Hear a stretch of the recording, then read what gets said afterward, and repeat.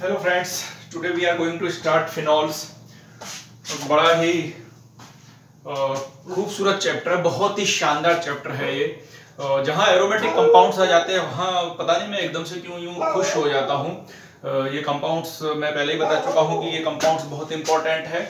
तो फिनॉल्स केवल जो है एक कंपाउंड का नाम नहीं है, देखा जाए तो।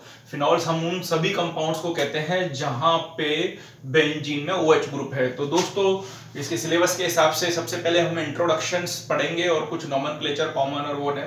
ठीक है, सबसे पहले तो देखेंगे कि फिनॉल क्या है और किन लोगों को फिनॉल किन कंपाउंड्स को फिनॉल कहते हैं। तो दोस्तों, पहली हेडिंग में जो है वो इंट्रोडक्शन डाल देता हूँ। ठीक है कि फिनॉल कौन से कंपाउंड्स को फिनॉल कहते हैं? अच्छा फिनॉल कहते क्यों है ना? कई बार ऐसे मुझे किसी ने पूछा कि सर इकलौती ऐसी कौन सी इनॉल फॉर्म है जो कि स्टेबल है? अदरवाइज़ तो enol forms are less stable है ना कीटो फॉर्म ज़्यादा स्टेबल होती है। लेकिन यहाँ पे देखते हैं कि ये इतना आ, क्या है। तो सबसे पहले दोस्तों स्ट्रक्चर बनाते हैं ठीक है? है ना ये इस तरीके से मैंने बेंजीन रिंग बनाई। ठीक है अच्छा हर इसका बेंजीन का formula C six H six है ठीक है? लेकिन एक एक हाइड्रोजन की जगह मैं यहाँ पे ओ OH ग्रुप लगा देता हूँ दोस्तों। तो ये जो कंपाउंड्स है जिसको कि हम फिनॉल कहते हैं और इसको हम अगर बेंजीन का डेरिवेटिव मानते हुए मैं इधर हाथ लगा देता हूँ और हाइड्रोजन होती तो बेंजीन तो ये हाइड्रोक्सी बेंजीन भी कह सकते हैं दोस्तों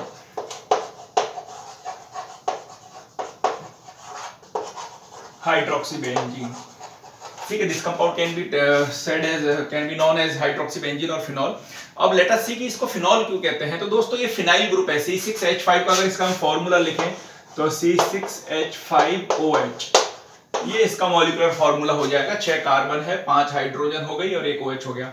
तो C6H5 को फिनाइल कहते हैं और ओ OH को ऑल कहते हैं, इसलिए फिनॉल लेकिन अब इन कहाँ से आया? इन प्लस ऑल इनॉल आ रहा है, एक वर्ड आ रहा है, अगर इसको बार बार बोलोगे phenol enol phenol phenol in और ऑल तो देखना दोस्तों, एक गौर फरमाना, है ना, ये बड़ी ही शानदार है। यदि एक ही कार्बन पर मैं यहाँ पे येलो कलर कर रहा हूँ, ठीक है, जो कि आपको व्हाइट ही दिखेगा, जबकि येलो है। एक ही कार्बन पर इन और ऑल होता है। ठीक है, मैं इस इस ओ OH ग्रुप को दोस्तों ऑल कह देता हूँ, हिंदी में या इंग्लिश में ऑल लिख देते हैं। ठीक है, और ये जो इन है डबल बॉन्ड ठीक है इसको मैं इन जैसे, वैसे तो ये बेंजीन का पार्ट है, लेकिन एक कार्बन के रेफरेंस में देखें तो इस तरीके से इन और ऑल तो इसलिए ये इनॉल तो फेनिल ग्रुप पे इन और फिनॉल हो गया। और ये हम कहते हैं इस is more stable more stable और उसका रीजन क्या है? उसका रीजन है इसके पाई इलेक्ट्रॉनों का घूमना, इसका रीजन है ये रेजोनेंस, उसका रीजन है ये अनुनाद, जिसकी वजह से ये पाई इलेक्ट्रॉन मूव करते रहते हैं, उसकी वजह से इसकी स्टेबिलिटी ज़्यादा है। लेकिन अगर दोस्तों, ठीक है, अगर हम इसकी दूसरी रूप देखें, जिसको कि जनरली जो है ये तो कम स्टेबल है, ठीक है, हम इस तरीके से लिख सकते हैं, ठीक है। बहुत कम ही फॉर्म इसकी जो है, बहुत वेरी लेस ठीक है, अब देखो एक्चुअली इसकी कीटो फॉर्म कौन सी होती है? तो मैं इसकी कीटो फॉर्म बना रहा हूँ और आप खुद ही समझ जाओगे ना? मुझे बोलने की ज़रूरत नहीं पड़ेगी, है ना, कि सर ये लेस स्टेबल क्यों है? मैं इस डबल बॉन्ड को ऑक्सीजन के पास भेज देता हूँ और हाइड्रोजन को इस कार्बन के पास भेज देता हूँ। पुराने डबल बॉन्ड ये एज इट इज़ है, ठीक है? तो ये डबल बॉन्ड ऑक्सीजन हो गई और यहाँ पे दोस्तों ये जो है, एक एक्स्ट्रा हाइड्रोजन होगी बाकी सब पे हाइड्रोजन तो है एक एक ठीक है? मैं इस पे दो कर देता हूँ, एक तो पहले से थी, हर जगह हाइड्रोजन है, मन की आँखों से देखने तभी तो सिक्स सिक्स एच फाइव हो रहा है, ठीक है? तो ये जो है इसकी कीटो फॉर्म है। कीटो फॉर्म ठीक है, ये ये जो है, ये जो मैं इसको गोला कर देता हूँ तो ये कीटोफॉर्म हो गई। सीओ ग्रुप को कीटोफॉर्म कहते हैं ना तो ये लेस स्टेबल है। ये क्या होगी दोस्तों? लेस स्टेबल ठीक है, ये लेस स्टेबल फॉर्म है। तो अब आपको समझ में आ गया होगा कि लेस स्टेबल क्यों है? लेस स्टेबल इसलिए कि इसका रेजोनेंस सबके पूरे 12 बज गए ठीक है, इस कंपाउंड में रेजोनेंस नहीं है। इस कंपाउंड में रेजोनेंस है रिंग के अंदर रेजोनेंस है तो इसके अंदर रेजोनेंस है। और आपको पता है कि जहाँ रेजोनेंस होता है, वहाँ स्टेबिलिटी बढ़ जाती है। बच्चे बच्चे को पता है, छोटे छोटे बच्चे को पता है नाइन टेंथ क्योंकि रेजोनेंस है तो स्टेबिलिटी बढ़ती है। यहाँ जो है ये पाई इलेक्ट्रॉन रेस्ट्रिक्टेड हो गए रेजोनेंस सब पूरा खत्म हो गया। इसलिए वेरी लेस स्टेबल में, बल्कि मैं वेरी भी लिख देता हूँ। बहुत कम स्टेबल है। इसीलिए दोस्तों, ये जो फिनॉल की ये फॉर्म है इनॉल फॉर्म ये ज़्यादा स्टेबल है। तो दोस्तों, ये ऑपरेशन करना ज़रूरी था, क्योंकि क्या है कि अधिकतर हम लोग नंबरों के पीछे पड़े रहते हैं। फटाफट पढ़ लो, ठीक है, रट डालो, ठीक है, पूरी रात पढ़ के अगले दिन एग्ज़ाम में फिर कुछ भी आ गया, फिर हमारे तोते उड़ जाते हैं। इसलिए समझना ज़रूरी है कि इसको हम फिनॉल क्यों कह रहे हैं? दिस इज़ द फिनाइल इन और ऑल सबको मिला के बोलोगे तो फिनॉल तो फिना phenol is the enol form phenol is the enol form ठीक है? जो कि रेजोनेंस की वजह से ज़्यादा स्टेबल है। यही अगर चीज़ हम की उसमें देखते हैं एसीटोन में, और एसीटोन की इनॉल फॉर्म देखते तो एसीटोन की कीटो फॉर्म ज़्यादा स्टेबल है। एसीटोन की इनॉल फॉर्म स्टेबल नहीं है। मोस्टली एलिफेटिक के केस में जो है कीटो फॉर्म मोर स्टेबल लेकिन एरोमेटिक्स के केस में रेजोनेंस की वजह से जो इनॉल फॉर्म है फिनॉल फॉर्म मोर स्टेबल तो ये तो हो गए दोस्तों फिनॉल की बात। अब हम बात करते हैं इसके कुछ कंपाउंड्स की। ठीक है जिनको कि हम फिनॉल या फिनॉल डेरिवेटिव्स मानते हैं। ठीक है तो फिनॉल्स को हम हाइड्रोक्सी बेंजीन भी कह सकते हैं फिनॉल को हम फिनॉल भी कह सकते हैं ऑब्वियसली और इसके यूज़ क्या है दोस्तों? बेसिकली आपके घरों में जो आप वाइपिंग के लिए पोछा लगाने के लिए कई बार जो बोतल आती है घरों में व्हाइट कलर की, ठीक है, वो बेसिकली लिक्विड मतलब डाइल्यूट होती है, इसलिए वो ऐसी होती है. अदरवाइज़ तो फिनॉल जो है, वो लगभग लगभग कलरलेस लिक्विड होता है, जो कि थोड़ी थोड़ी ऑक्सीडेशन होने पर पिंकिश हो जाता है पिंक कलर का हो जाता है, अगर आप रखते हो, ठीक है. और अब हम बताएँगे कि किसकी वजह से बनने की वजह से होता है. ठीक है तो इसके यूज़ है फिनॉल के बहुत सारे डेरिवेटिव जो है मेडिसिन के रूप में भी होते हैं। ठीक है, वो मेडिसिन बनाई जाती है उनसे, जैसे हम बात करते हैं यहाँ। ठीक है तो यहाँ देखते हैं स्ट्रक्चर्स कौन कौन सी स्ट्रक्चर्स है। फिनॉल तो इटसेल्फ हो ही गया। पहले मोनो सब्सिट्यूट की बात कर लेते हैं दोस्तों। ठीक है तो इस तरीके से फिनॉल पर यदि जो है वो ऑर्थो नाइट्रो ग्रुप लगता है तो ये जो है ऑर्थो नाइट्रोफिनॉल हो जाता है। इसका नाम क्या है दोस्तों? ऑर्थो नाइट्रोफिनॉल ठीक है, और ये कंपाउंड्स फ्रेंड्स आपने पढ़ा होगा, आपने कहा पढ़ा होगा? ये आपने पढ़ा है इलेवेंथ क्लास में जब इंटर इंट्रामोलिकुलर हाइड्रोजन बॉन्ड पढ़ा था, ठीक है? इकलौता मॉलिक्यूल है, ठीक है? मतलब वन एंड इकलौता तो नहीं कहेंगे, और किसी कंपाउंड्स में भी होता है। इस तरीके से दोस्तों ये इसके, इसकी ऑक्सीजन और इसके हाइड्रोजन के साथ इंटरनल हाइड्रोजन बॉन्ड बन जाता है। है ना? अगर हम इंग्लिश में कहते हैं intramolecular hydrogen bond intramolecular hydrogen bond ठीक है, हिंदी में कह देंगे इसको अंत है, ठीक है विद इन मॉलिक्यूल ठीक है, इस तरीके से ऑर्थोनाइट्रोफेनॉल और इसी का दूसरा डेरिवेटिव भी है, ठीक है, जिसको कि हम पैरा नाइट्रोफेनॉल कहते हैं।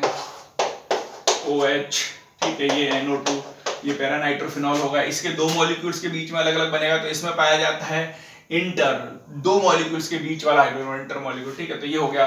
फिर उसके बाद में क्लोरो डेरिवेटिव्स भी हो जाता है। ओ OH ठीक है, यहाँ क्लोरीन लगा दो तो मैं बताता हूँ ऑर्थोक्लोरोफिनॉल ठीक है। अच्छा ये पोजीशन आपको पता ही है, ये पोजीशन जो है वो ऑर्थो कहलाती है। ये पोजीशन दोस्तों मेटा कहलाती है आमने सामने की पोजीशन पैरा कहलाती है, ये पोजीशन वापस मेटा कहलाती है और ये पोजीशन दोस्तों ऑर्थो कहलाती है। तो ये आपको पता होना चाहिए, ठीक है।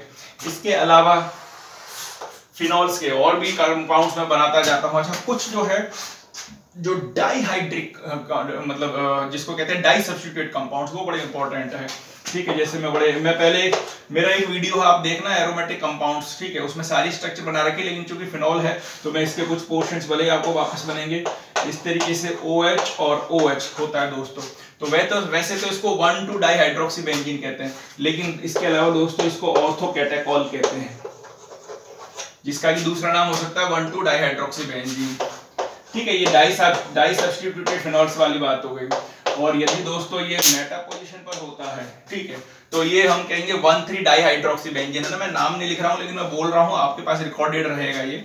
तो one three di hydroxy benzene जिसको कि हम रिसोर्स इनॉल कहते हैं। यहाँ आपको कंफ्यूजन हो सकता है दोस्तों, क्योंकि ये पॉपुलर नाम है रिसोर्सिनोल कई बार लैब में आप जाते हो तो आपको समझ में नहीं आता रिसोर्सिनोल क्या है। लेकिन आपको पता होना चाहिए कि ये जो मेटा डाइहाइड्रोक्सी बेंजीन है अच्छा इसको ऑर्थो डाइहाइड्रोक्सी भी कह सकते हैं और वन टू डाइहाइड्रोक्सी भी कह सकते हैं कैटाकॉल इसका कॉमन नेम हो गया। इसी प्रकार इसका नाम जो है वो मेटा डाइहाइड्रोक्सी बेंजीन भी कह सकते हैं वन थ्री डाइहाइड्रोक्सी बेंजीन भी कह सकते हैं और बाकी रिसोर्सिनोल तो है ही। और फिर इस तरीके से दोस्तों ये पैरा, ठीक है ओ OH और ओ OH इस तरीके से कह सकते हैं, ठीक है। इसको जो है ये हो जाएगा आपके पैरा कैटेकॉल ठीक है। ठीक है तो इस तरीके से इनके नाम लिख सकते हैं। और दोस्तों, अभी ओ OH ग्रुप के कई डेरिवेटिव्स बड़े इंपॉर्टेंट है। मैं अभी इसको जो है थोड़ा सा आपको अगले बोर्ड पे बताने वाला हूँ।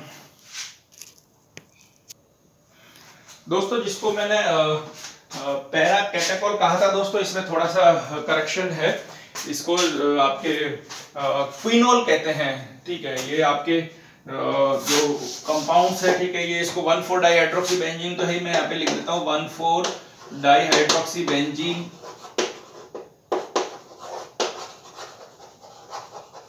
इसके अलावा दोस्तों, इसका दूसरा नाम है, ठीक है, वो क्विनॉल है। ठीक है, मैं यहाँ लिख रहा हूँ क्विनॉल ठीक है। और यदि ये हाइड्रोजन नहीं होते दोनों तो इसकी कीटो फॉर्म को क्विनोन कहते हैं ठीक है। तो इस तरीके से यहाँ पे अब इसकी दूसरे हम कंपाउंड्स में देखते हैं दोस्तों अगर इस तरीके से ये तीन कंपाउंड्स होते हैं ठीक है ये इस तरीके से बना देता हूँ मैं यहाँ पे। यदि इस तरीके से रेगुलर जो है OH, OH और OH इस तरीके से ये तीन हाइड्रोक्सी ग्रुप्स एक साथ होते हैं तो इनको हम दोस्तों जो है वो पायरोगेलोल कहते हैं। कॉमन नेम है इसका पायरोगेलोल जिसको कि हम 135 ट्राई हाइड्रोक्सी बेंजीन भी कह सकते हैं। और यदि इसी की जगह दोस्तों ये 135 पोजीशन पर इस तरीके से होता तो इसको फ्लोरोग्लूसिनोल कहते हैं। इस तरीके से 1 3 और 5 OH OH और OH ठीक है, इसको हम दोस्तों 135 ट्राई हाइड्रोक्सी बेंजीन भी कह सकते हैं। और इसको हम दोस्तों फ्लोरो फ्लोरोग्लूसिनॉल भी कह सकते हैं दोस्तों। इसका नाम है फ्लोरोग्लूसिनॉल फ्लोरोग्लूसिनॉल ठीक है अच्छा इसके अलावा दोस्तों कुछ और कंपाउंड्स है, ये तो इतना काम नहीं आते हैं, लेकिन जो दूसरे काम आते हैं, वो उन पर हम चलते हैं। इस तरीके से ये अगर यहाँ ओ OH और यहाँ C double O H group होता है, ठीक है तो इस तरीके से बेसिकली ये ऑर्थो हाइड्रोक्सी बेंजोइक एसिड हो गया, जिसको कि हम सेलिसिलिक एसिड कहते हैं। ये इंपॉर्टेंट है दोस्तों, इससे एस्प्रिन बनाई जाती है। ये सेलिसिलिक एसिड और यदि इसी में फिनॉल वाले में जो है, अगर सी डब्ल्यू एच की जगह अगर फिनॉल में मैं ऑर्थो पोजिशन पर एल्डिहाइड जोड़ देता हूँ तो दोस्तों इसको सेलिसिल एल्डिहाइड कहते हैं।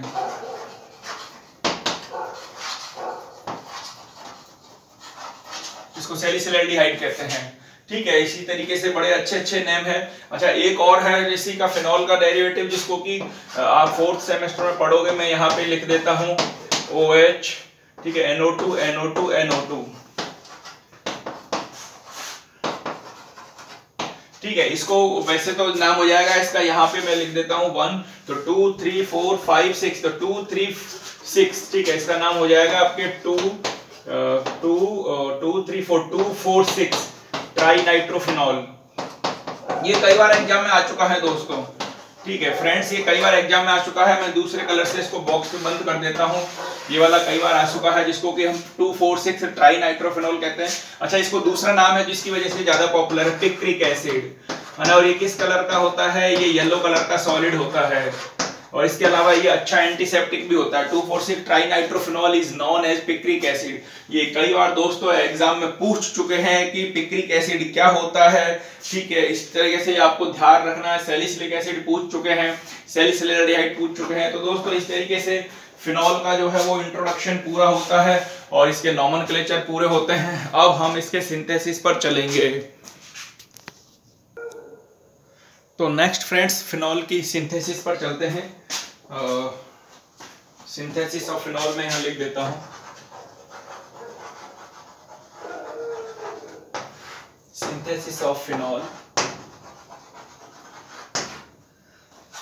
तो फ्रेंड्स पहले हम जो है ये आ चुकी है फ्रॉम क्यूमीन अगर आपको पता है कि क्यूमीन क्या है, ठीक है? तो आपको आइडिया लग जाएगा कि क्यूमीन से किस तरीके से होगी और ये इंडस्ट्रियल प्रोसेस भी है।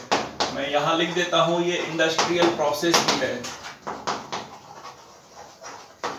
ठीक है तो सबसे पहले हम क्यूमीन बनाते हैं दोस्तों।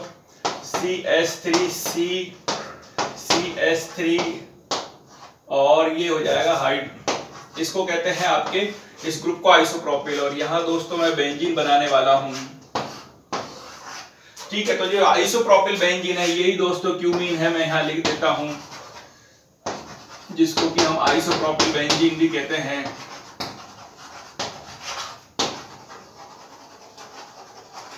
ठीक है, और फिर यहाँ पे, ठीक है, ये टू स्टेप प्रोसेस है, पहले इसका हम ऑक्सीडेशन करेंगे, ठीक है, इस तरीके से हाई टेम्परेचर पे तो ये आपके बन जाएगा दोस्तों सी एस थ्री ठीक है ओ टू कर देते हैं ओ टू की प्रेजेंस में। ठीक है तो C S three C C S three और ये इस तरीके से ये हाइड्रोजन और इसके हाइड्रोबीज में ये दो ऑक्सीजन जुड़ जाएँगे। और दोस्तों, इस तरीके के जो है उसको हम परोक्साइड कहते हैं तो इसलिए इसका नाम हो जाएगा क्यूमीन परोक्साइड इसका नाम हो जाएगा क्यूमीन परोक्साइड या हाइड्रोजन भी जुड़ गया था हाइड्रोपरोक्साइड ठीक है क्यूमीन हाइड्रोपरोक्साइड ठीक है, और उसके बाद में फ्रेंड्स फिर इसका जो है हम प्रोटोनेशन करेंगे डिहाइड्रोशन करेंगे, ठीक है, ये H प्लस की प्रेजेंस में, ठीक है तो इस तरीके से C S three C O C S three निकल जाएगा और ये ओ एच ग्रुप इस पर जुड़ जाएगा, ठीक है, ये बड़ी ही पॉपुलर रिएक्शन है, ठीक है, ये हो गया आपके ओ एच और C S three C O C S three ये निकल जाएगा आपके, ठीक है तो बड़ी ही अच्छी रिएक्शंस है ये जिसमें हम क्यूमीन को पहले ऑक्सीडाइज करते हैं हाई टेम्परेचर प्रेशर पे। O2 तो जो ऑक्सीजन है वो कार्बन और हाइड्रोजन के बीच में जुड़ती है तो क्यूमीन हाइड्रोपरोक्साइड बनता है। और फिर दोस्तों H प्लस की प्रेजेंस में है ना, मैं थोड़ा सा आइडिया दे दूँ, वैसे इसकी मैकेनिज्म वगैरह आपकी सिंथेसिस में मैकेनिज्म नहीं है, इसकी रिएक्शन जब हम पढ़ेंगे फिनॉल की केमिकल रिएक्शंस तब इसकी हम मैकेनिज्म देखेंगे, ठीक है? तो यहाँ मैं बता दूँ, ये H प्लस है, ये ऑक्सीजन पर जुड़ेगा। H2O निकलेगा। और उसके बाद में दोस्तों ये जो यहाँ से है, ये बॉन्ड जो है वो आपके ये ले जाएगा और यहाँ से ये फिर इस बॉन्ड को लेगा और CH3 CO CH3 निकल जाएगा। और उस केस में फिर ये जो H और OH से वापस जो H2O निकला है दोस्तों, वो वापस H2O से यहाँ जुड़ेगा। तो इस तरीके से इसकी मैकेनिज्म है। अभी आप हायर क्लास में आओगे तो आप पढ़ोगे ये। अभी हम केवल रिएक्शन पढ़ा रहे हैं। बड़ी ही इंपॉर्टेंट रिएक्शन है क्यूमीन की। अच्छा एक दूसरी रिएक्शन भी लगे हाथ कर दू। ठीक अपने पास जगह बची हुई है। तो इस तरीके से मैं दूसरी रिएक्शन कर दू, ठीक है? ये मैं लिख देता हूँ आपके फ्रॉम क्लोरोबेंजीन ये दोस्तों आपने ट्वेल्थ क्लास में पढ़ा होगा। फ्रॉम क्लोरोबेंजीन जिसको कि हम रशिक प्रक्रम भी कहते हैं। क्लोरोबेंजीन ठीक है तो इस तरीके से मैं क्लोरोबेंजीन बना देता हूँ सबसे पहले। और इसको हाई टेम्परेचर और प्रेशर पे, ठीक है? लगभग बहुत उच्च ताप पे, ठीक है? वेरी हाई प्रेशर ठीक है? हाई टेम्परेचर और हाई प्रेशर इस पर जब हम गर्म करते हैं दोस्तों, ठीक है, किसके कंसंट्रेट एनएच की प्रेजेंस में? ठीक है तो इस तरीके से ये NaCl निकलता है और इसमें OH जुड़ जाता है। ठीक है, लेकिन इसमें ईल्ड कम है, ठीक है। ये जो ईल्ड मतलब इसकी जो प्रोडक्ट बनता है, कम प्रोडक्ट क्योंकि बेसिकली ये न्यूक्लियोफिलिक सब्स्टिट्यूशन रिएक्शन टाइप की होगी। और हमें पता है कि यार एरोमेटिक कंपाउंड्स में न्यूक्लियोफिलिक बड़ा मुश्किल काम होता है। इसलिए क्या है कि इसमें खूब उच्च ताप दाब खूब लगाने के बाद, बावजूद भी जो ये फिनॉल बनता है, उसकी कंसंट्रेशन कम होती है। तो इस तरीके से ये दोस्तों क्लास थोड़ी सी आप लोगों के, मैंने लिए लंबी कर दी। नेक्स्ट क्लास में हम बची हुई इसकी सिंथेसिस में अभी, मैंने दो सिंथेसिस हो गई तो बची हुई सिंथेसिस और फिर रिएक्शन से पढ़ेंगे। Okay friends Thank you.